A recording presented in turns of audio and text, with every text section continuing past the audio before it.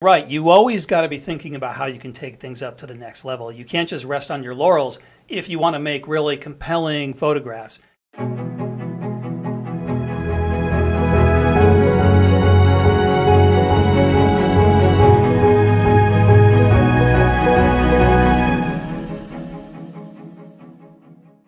Greetings, my excellent friends. It's Josh Cripps here. On this episode of How I Got the Shot, I'm very excited to welcome a special guest, one of the best landscape photographers in the world, and someone I'm proud to call a personal friend, Ian Plant. I've been following Ian's work since the very early days of my own career, and one of the things that has always impressed me about his work is his dedication to the shot. Once he's got an idea for an image, no matter how crazy or adventurous it is, he goes for it and he does what it takes to execute his vision. And the photo he's going to be telling us all about today is no different, a magnificent portrait at this volcano, but I'm going to let him tell you all about it. So without any further ado, let's dive in. Ian Plant, welcome and thank you so much for joining me here on How I Got the Shot. How are you doing today? I'm doing great. Thanks so much for having me, Josh. It's a real honor and privilege to speak with you as always.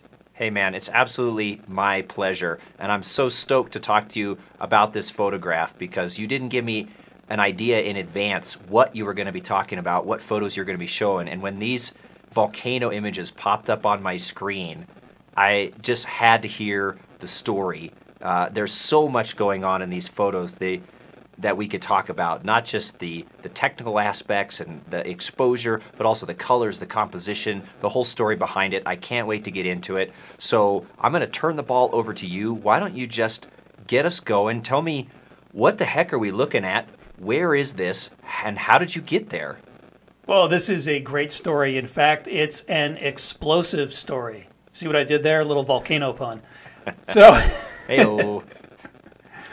This is actually a sequence of photos. I wanted to share with everyone my process as I explored this beautiful volcano. This volcano is in the island nation of Vanuatu in the South Pacific, and it is literally halfway across the world from where I live. It was quite an adventure getting there.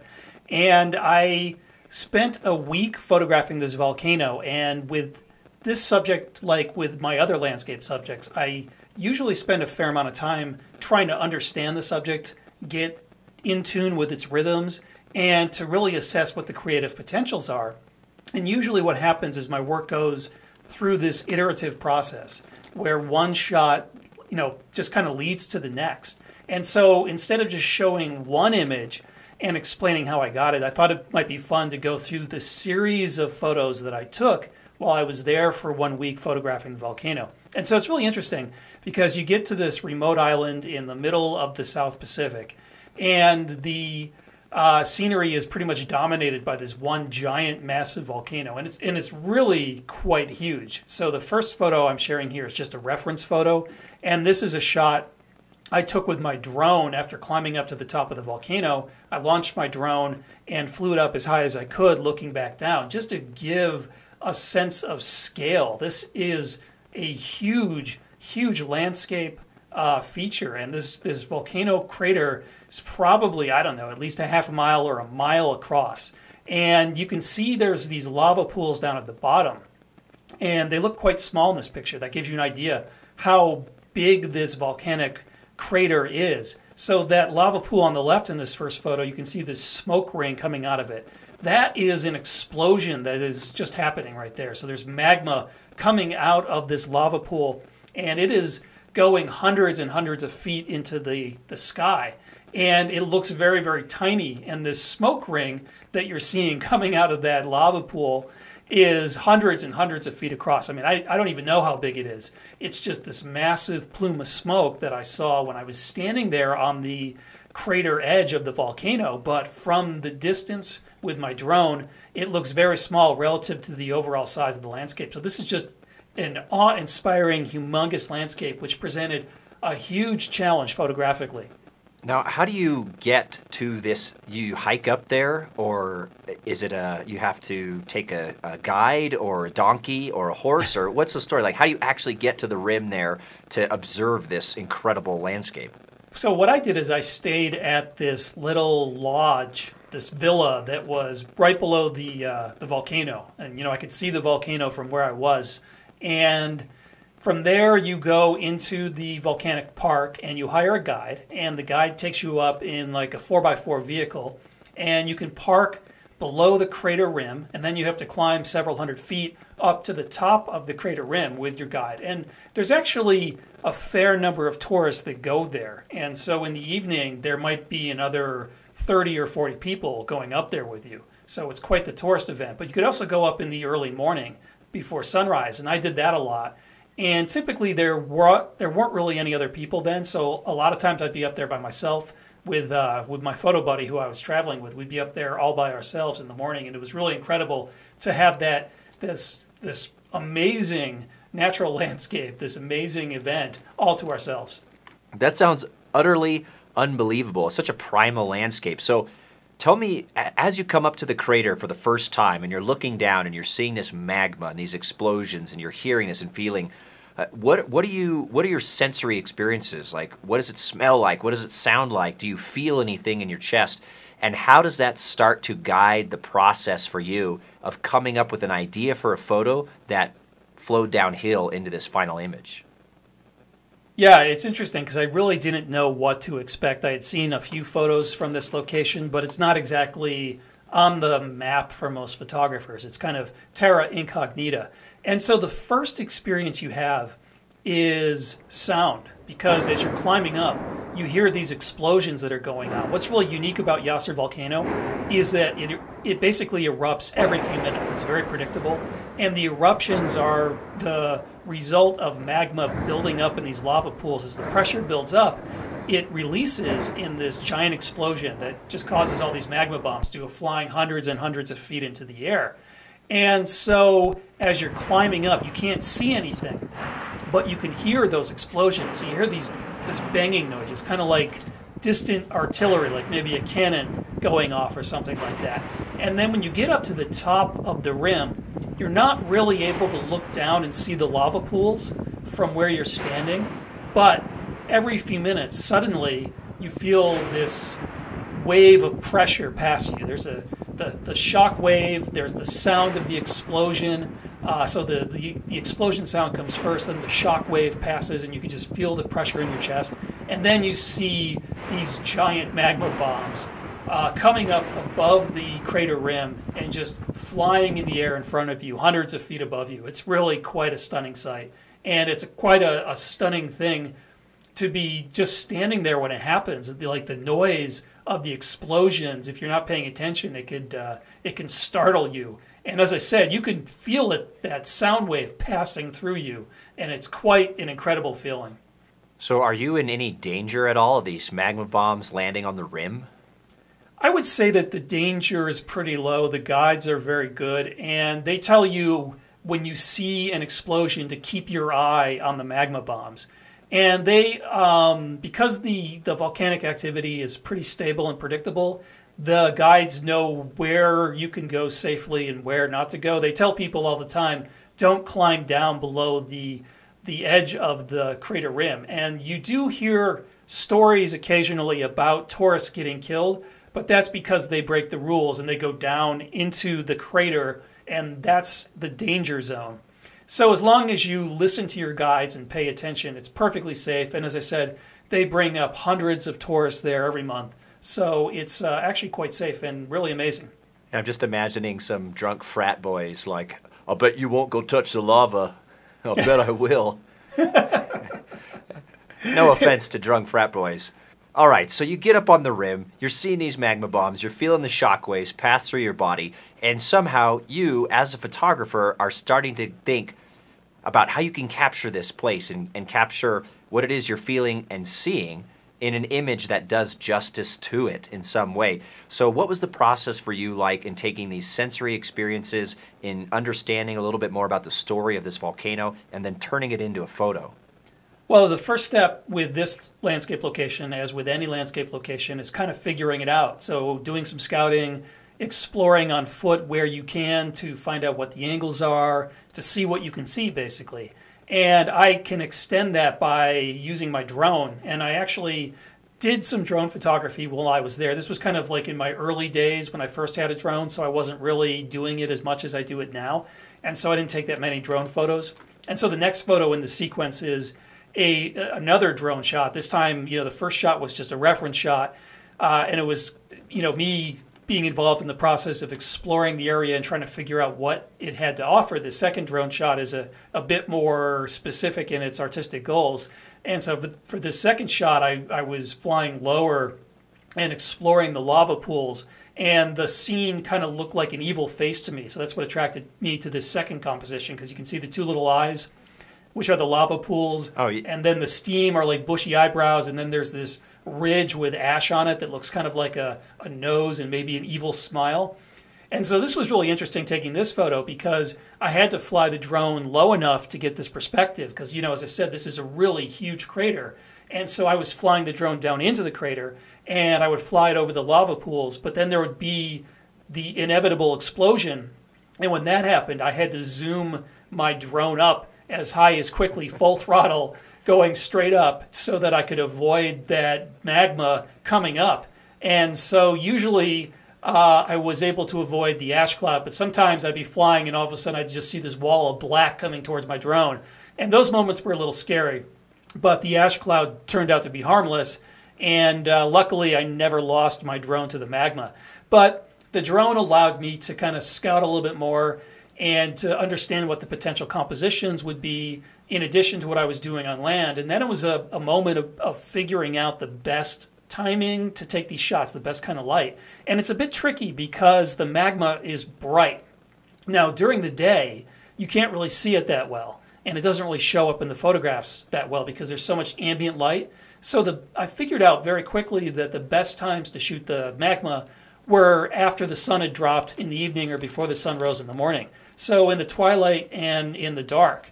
And so when it was very dark out, it was easy to photograph the magma, but it was too dark to pick up any of the surrounding landscape or anything in the sky. So I very quickly realized that the best thing to do was to wait for that moment during the twilight when the ambient light levels had dropped enough that they balanced with the native glow of the magma. So when the exposure for the magma and the twilight sky were about the same, that was the best time to take a photo because I could capture the magma and it would stand out really nicely and I'd get its color really nice.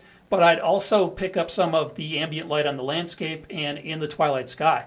And there was usually about a five to 10 minute window of opportunity when the twilight and the magma were balanced in exposure. So I would have a very short window of opportunity in the evening or in the morning to get that balanced exposure, to get the light and the color that I was looking for. Well, I love that, man, because so often as landscape photographers, we show up at a certain time, we evaluate what's happening in the scene, and we take the best shot that we can in that moment, and then we leave.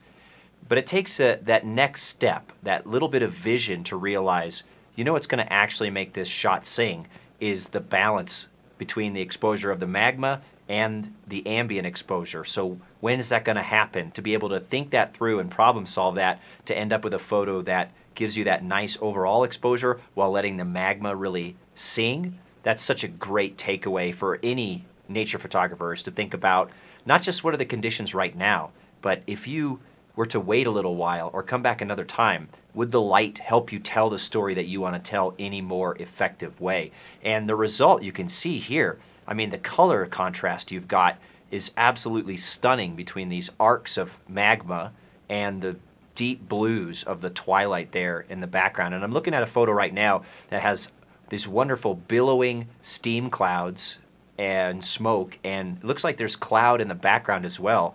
And you've got these vivid reds and these intense blues, and that color contrast really, really makes this photo pop. So, can you talk a little bit about how you worked with the coloration uh, of this scene to make such a, an effective image?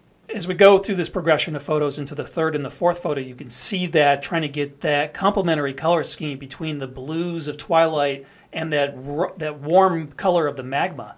And this is just a technique I like to use a lot with my landscape photography is to juxtapose opposite colors. And this is called complementary colors if uh, if you're in the art world. And so usually what that means is a warm color juxtaposed against a cooler color. And what happens is when you juxtapose these opposite colors, they make each seem more vibrant. They pop out a lot more. And I think in digital photography, there's this temptation to warm up the scene too much. People like those warm colors, those fiery sunrises and sunsets. But if you do that too much, you're going to lose those cooler tones. You're going to lose that complementary color scheme. And I think as a result, you're doing your photos a disservice. So preserving that color scheme was part the result of field work, you know, picking that timing when I had that ambient light balance with the, the magma. And I knew that the two colors would work together really effectively in these final photos.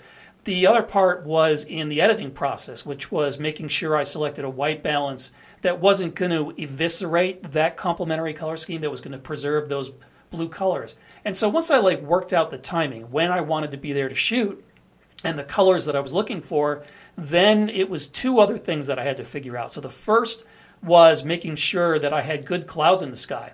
And so there are a lot of examples in these photos where the sky was pretty clear, so I didn't really get great clouds. But I think that the photos with clouds are a bit more effective because the clouds bring extra color and shape to the sky, they bring some texture to the sky.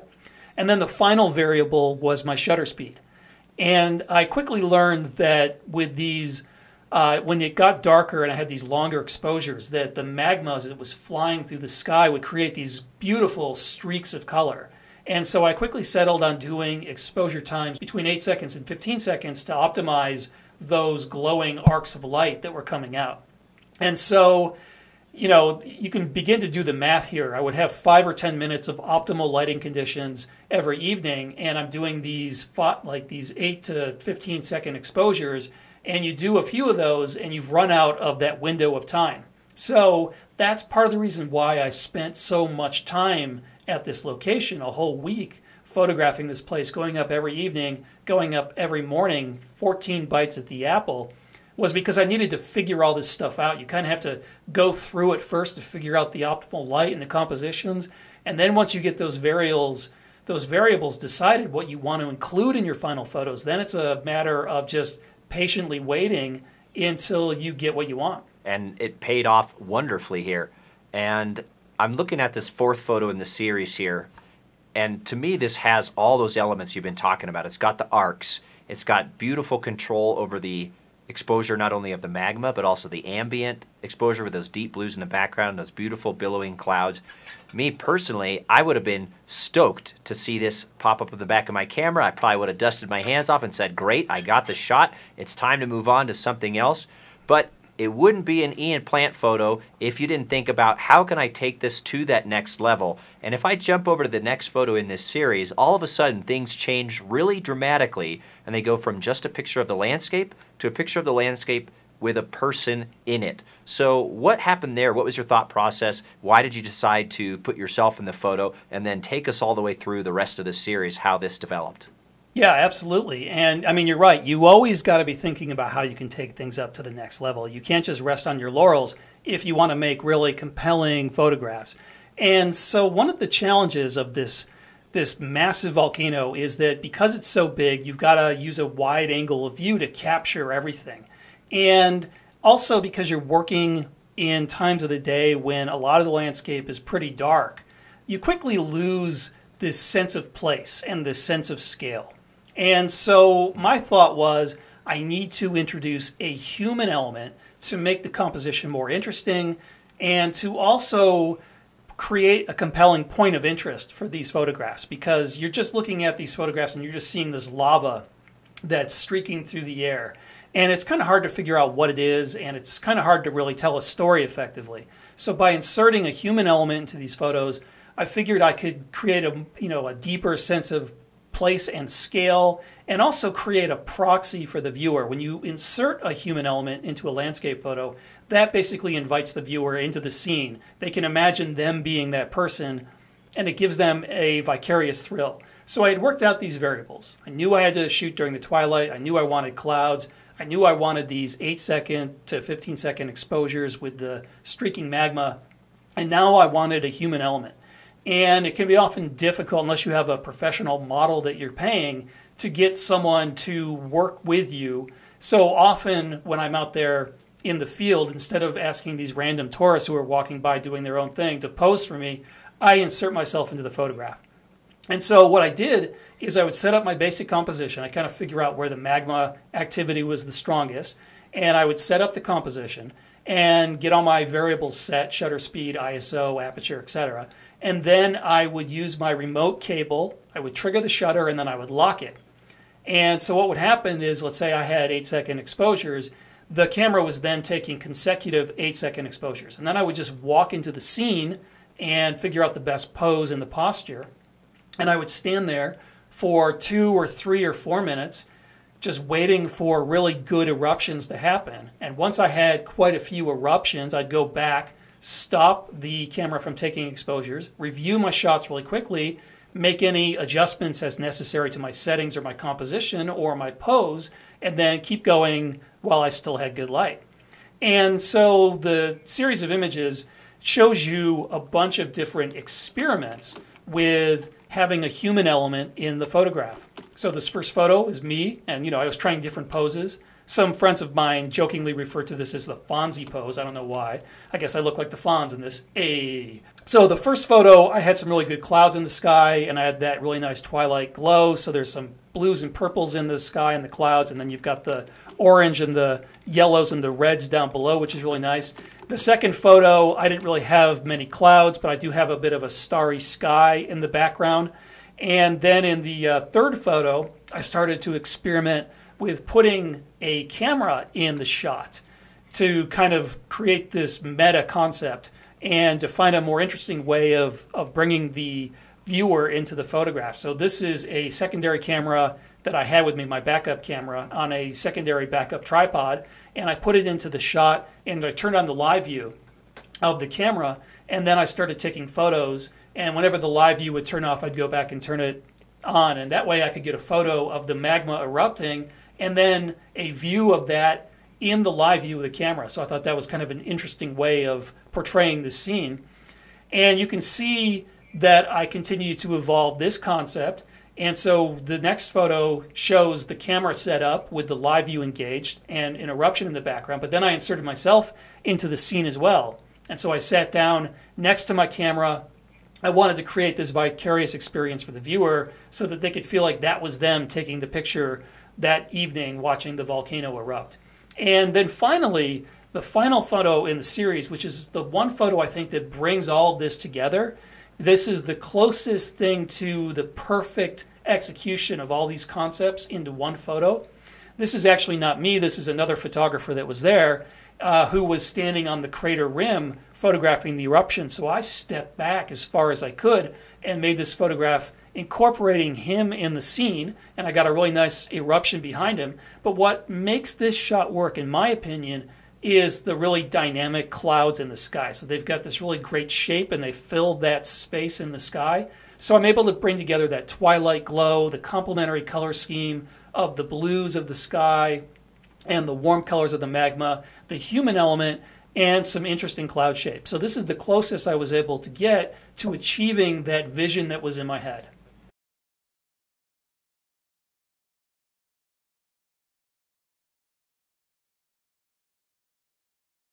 Well, that's a really fantastic evolution. And what I enjoyed about that story just now is that it shows that it's not just about rocking up to the location, slapping your camera on the tripod, hitting that shutter button, and you're good to go.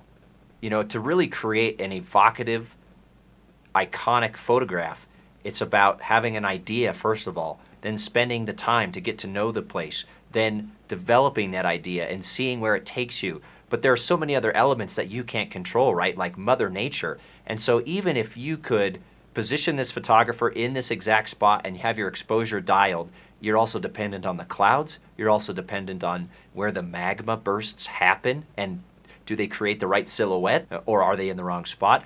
So this is such a, just a beautiful epitome of what it's like to be a nature photographer where you bring your A game and Mother Nature brings her A game, and it all kind of comes together in this half controlled, half chaotic dance, this beautiful expression of the, the world that we live in.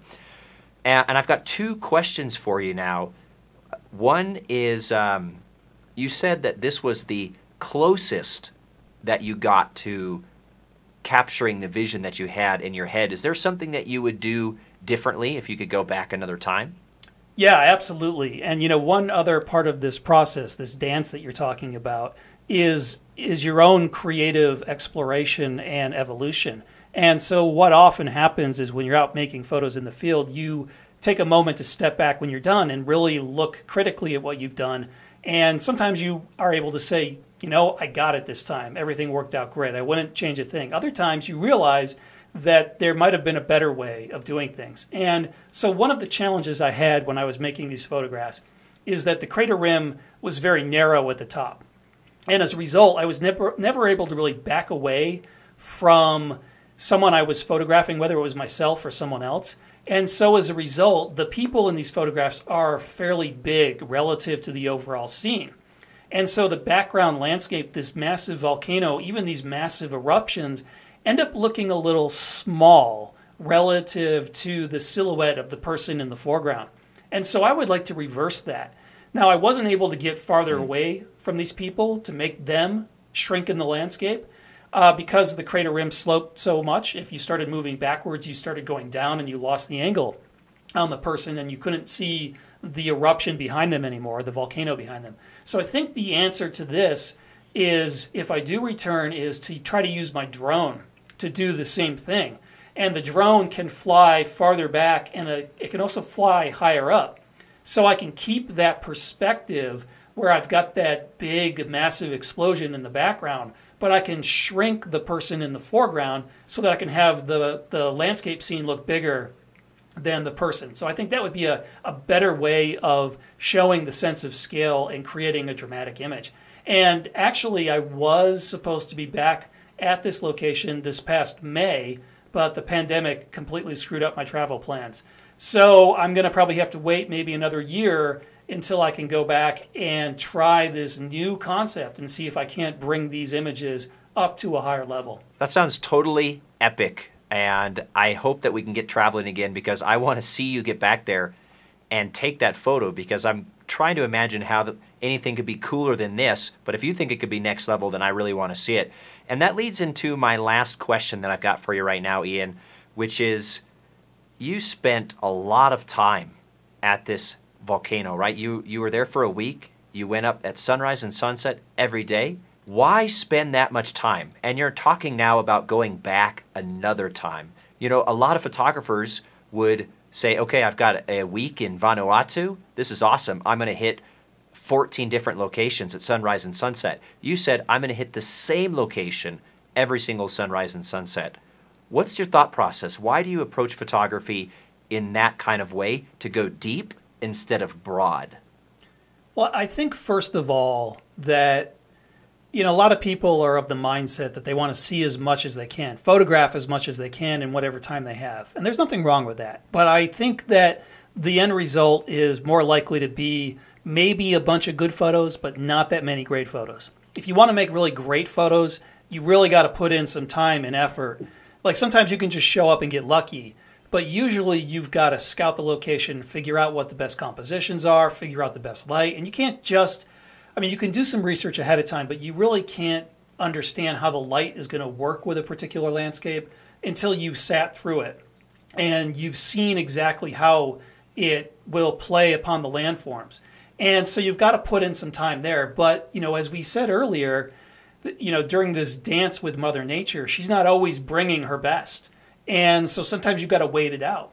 And I think it's important to have a vision in your head and try to impose that vision on the real world. And the only way you can really do that is through patience because you have to wait for the real world to spontaneously align and converge in a way that is close to what your creative vision is. Hopefully, you'll get it to align in a way exactly the way it's in your brain, but more often than not, you'll just get as close as you possibly can to something that you've thought of. And I think the other thing to keep in mind here is that you're probably going to make your best photographs when you are photographing something that inspires you. And this was a place that really inspired me. I mean, it really spoke to me in a dramatic and compelling way. And so, if you've got a place that you really love, if you've kind of figured it out, but you didn't get exactly what you wanted, then the best thing you can do is find a way to get back to that spot and keep working it until you get what you want. Because I don't know, I, I think back at the parts of my evolution as a photographer that I regret the most. And I, I don't regret getting to a spot and taking photos, even if it's a spot I've been to many, many times before. What I regret are the shots that get away from me. The, the, the times where I was somewhere and for some reason I wasn't able to execute at the highest level. That's what you regret, and that's what I try to avoid doing. I mean, I, I just shoot what inspires me, and I, I just try to get the best shots that I can from those places that inspire me. And if I don't get my very best, then I find a way to get back there and make it happen. Well, that's you inspire me, man. I think that's a great takeaway for everybody out there listening is the more meaningful photography that you want to do, it's worth that time to execute on your vision, to make it happen, to follow the stories that inspire you as deeply as you can to really get to know those subjects. The last thing the world needs is a thousand photographers skipping across the surface creating cotton candy pretty pictures. We need more meaningful imagery that tells these stories of what a marvelous, extraordinary place uh, the planet really is, right? Mm-hmm. So thank you so much, Ian. I really appreciate being able to spend this time with you to learn about a place that I didn't even know existed, first of all, and to see these wonderful images and to know that you're going to go back and shoot some more cool stuff that maybe we can have a chance to talk about again in the future. For everybody out there who's not already following Ian, please do yourself a favor. I'm going to link all of his stuff down below in the video description. Go follow him. You're going to be blown away by the quality of the photography and the commitment to creating these images. It's really, really inspiring. It's always great to talk to you, man. Thank you so much for being here on the program. Uh, it's been an honor to talk to you. Thank you, Josh. The honor is all mine. All right, everybody, that's going to do it for this episode of How I Got the Shot. So until next time, have fun and happy shooting.